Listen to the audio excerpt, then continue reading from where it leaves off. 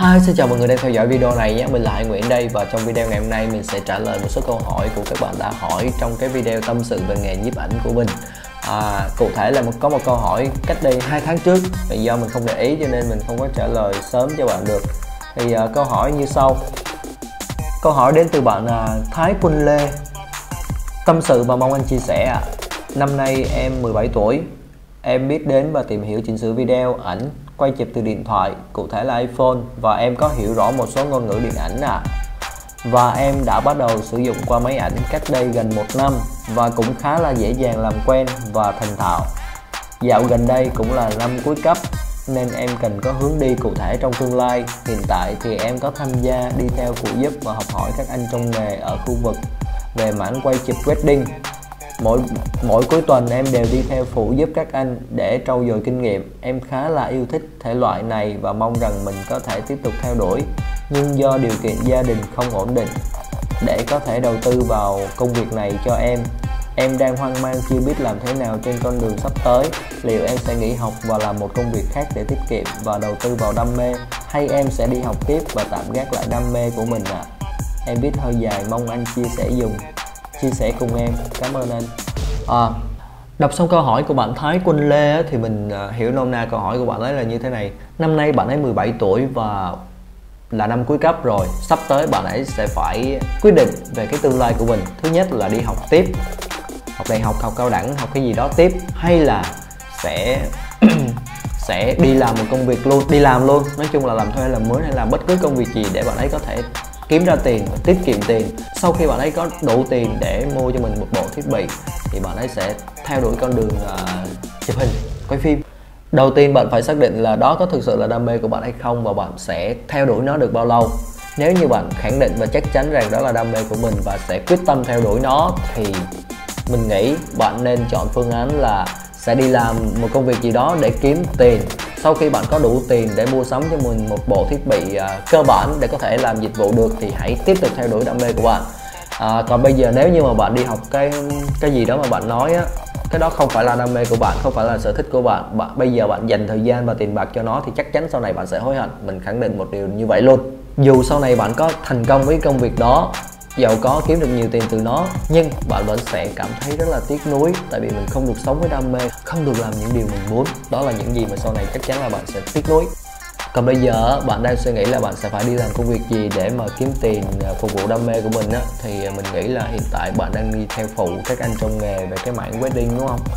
Thì uh, mình nghĩ khi mà bạn đi theo phụ nhiều bạn có kinh nghiệm và bạn đã làm được ok rồi á thì các anh chắc cũng sẽ không để cho bạn thiệt thòi đâu. Lúc đó bạn vừa có thể sử dụng các thiết bị mà các anh có này vừa đi theo phụ các anh và vừa kiếm thêm thu nhập từ cái việc phụ đó. Ok câu hỏi thứ hai đến từ bạn có tên youtube là music pro 9x bạn ấy hỏi mình là anh ơi có thể trả lời một câu hỏi về em tính đi học chụp ảnh có học 10 triệu. Anh ấy bao sau một tháng thì tháng thứ hai vừa học vừa được lương. Anh nghĩ như thế nào ạ? À? học như vậy anh nghĩ có học được không ạ? À, chào bạn music pro 9x thì uh, cụ thể câu hỏi của bạn ấy là như thế này. Bạn ấy đang tính đi học chụp ảnh và cái nơi bạn ấy muốn học ấy nói bạn ấy là khóa học này 10 triệu. Tháng đầu tiên thì học thôi tháng thứ hai thì vừa học vừa có lương. Đấy ngon không? Ngon không? Thực ra thì đây là một cái hình thức uh, uh, tuyển học viên rất là phổ biến của các ngành nghề hiện nay. Uh, không chỉ riêng uh, ngành nghề chụp ảnh mà các ngành khác như là làm tóc làm nail làm spa các thứ. Uh, thì họ đều tuyển học viên đào tạo và sẽ làm cho họ luôn. Đào tạo ở đây á, không phải là đào tạo theo kiểu trường lớp sách vở bài bản mà họ sẽ đào tạo theo kiểu là thả cho bạn thực hành bạn quan sát người ta làm sao thì bạn sẽ bắt chước làm như vậy. Và bạn có thắc mắc gì có khó khăn gì thì họ sẽ giải đáp. À, thực ra cái kiểu học này cũng rất là tốt sẽ khiến bạn tiếp xúc nhiều à, thực hành nhiều sẽ dễ lên tay hơn. Và cái quan trọng bạn cần để ý là cái studio này á, cái lĩnh vực họ làm có phù hợp với bạn hay không có phải là cái mảng bạn thích hay không? Tại vì nhiếp ảnh có nhiều mảng lắm nha bạn. Như kiểu là um, chuyên về chụp hình sản phẩm chuyên về chụp chân dung chuyên về cưới hỏi chuyên về sự kiện. Đó bạn phải xem là cái studio này cái lĩnh vực của họ có phù hợp với bạn hay không có phải là cái thứ bạn thích hay không. Nếu như đúng với cái lĩnh vực của bạn thích rồi á thì bạn hãy xem xét tới studio này làm việc có tâm hay không có chuyên nghiệp hay không và sản phẩm họ ra có chất lượng hay không. Nếu như mọi thứ ok thì nên học. Tại vì cái cái mức học phí 10 triệu này cũng khá là thấp. Đối với những studio lớn á, thì uh, có thể lên tới 40 triệu 50 triệu lận. Vừa học vừa trả lương là như thế nào? Là như thế này, sau cái tháng đầu tiên là bạn đóng tiền học phí, tháng thứ hai họ sẽ cho bạn đi làm. Ờ, ví dụ họ có job, có khách thì ờ, họ sẽ giao cho bạn làm. Nếu như mà họ cảm thấy là bạn làm ok rồi và họ sẽ trả lương cố định cho bạn theo tháng, ví dụ như tháng này 5 triệu 4 triệu. Đó. Hoặc là cái hình thức trả lương thứ hai là trả lương theo job. Ví dụ như có job này và họ bảo bạn đi và bạn sẽ được 20% tiền của cái job đó. Đó đó là cái kiểu trả lương của họ còn nếu như mà bạn muốn học cao hơn nữa sâu hơn nữa rộng hơn nữa thì mình nghĩ bạn nên đi học ở những học viện hoặc là những những nơi mà họ chuyên về đào tạo hơn là những studio.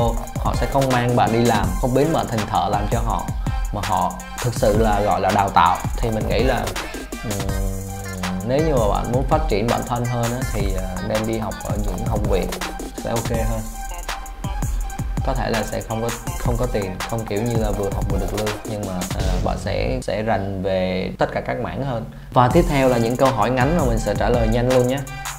Con gái có làm nghề này được không ạ? À? làm được nhé. Thậm chí có rất là nhiều bạn gái thành công với nghề này. Ừ, kiếm tiền khá khá khá ok đấy.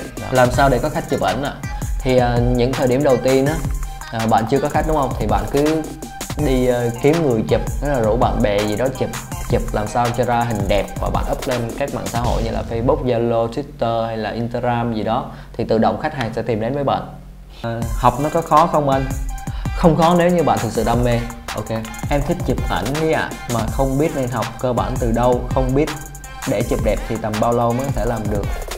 Chúng ta sẽ bắt đầu bằng cách mua một à, bộ máy ảnh và tự mày mò tìm hiểu trên mạng học Google học YouTube các thứ rất là nhiều nơi chia sẻ về kiến thức chụp hình mà. Giống như mình cũng có một cái trang web để chia sẻ kiến thức chụp hình à, bạn có thể tham khảo là hànhnguyyenmedia.com ok. Chụp để để tầm bao lâu thì mới có thể làm được? À, nếu như bạn dành nhiều thời gian cho nó thì mình nghĩ là nhanh thôi hai tháng 3 tháng. Nghề này có bằng cấp không anh? Không. Cái này là phụ thuộc vào kỹ năng. Anh có nhận học viên không anh? Không anh của bắp lắm không nhận học viên à, em học chụp ảnh mà dùng điện thoại để chỉnh ảnh thì có ổn không anh? À, rất là nhiều người họ sử dụng điện thoại để chỉnh hình ảnh và giao nhanh cho khách rất là ok luôn. Nhưng ở một số trường hợp thì ờ, chúng ta không thể sử dụng điện thoại để chỉnh được à, tại vì à, điện thoại thì không thể xuất được file chất lượng cao như là máy tính hoặc là không thể chỉnh chuyên sâu như là máy tính. Ừ, nói chung là cứ nên học thêm máy tính nữa. Vừa rồi là mình trả lời nhanh các câu hỏi của các bạn đã comment trong cái video trước của mình thì uh, Kết thúc video ở đây, cảm ơn mọi người đã dành thời gian theo dõi và nếu như thấy video này có ích thì cho mình xin một like, một share và một đăng ký kênh. Nhớ nhấn vào cái chuông để nhận thông báo khi mình ra video mới nhất nhé. Xin cảm ơn và chào tạm biệt.